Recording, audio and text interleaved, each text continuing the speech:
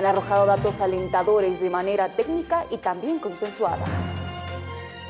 La novena reunión técnica de socialización del INE en Potosí logró importantes acuerdos para impulsar esta actividad de manera consensuada con todos los sectores involucrados donde el INE compromete realizar coordinaciones y socialización. Además, todos coincidieron que el proceso censal es netamente técnico. Hemos coincidido en que este proceso censal es netamente técnico, Hemos coincidido también que lo más importante es que luego del cumplimiento de este proceso esencial tengamos datos de calidad para de esta manera poder desarrollar políticas públicas en beneficio de la población boliviana. Lo más importante es que al final de este proceso esencial podamos tener datos de calidad en beneficio de la población. Por su parte, las universidades del siglo XX y la Tomás Frías destacaron que sus propuestas serán analizadas y que por primera vez son tomadas en cuenta en un trabajo que requiere estrictamente un trabajo técnico. Se ha consensuado de que el proceso censal tiene que tener un carácter enteramente técnico. La universidad va a presentar una actualización cartográfica porque, según lo que nos ha indicado, Potosí ya tiene un 100% de la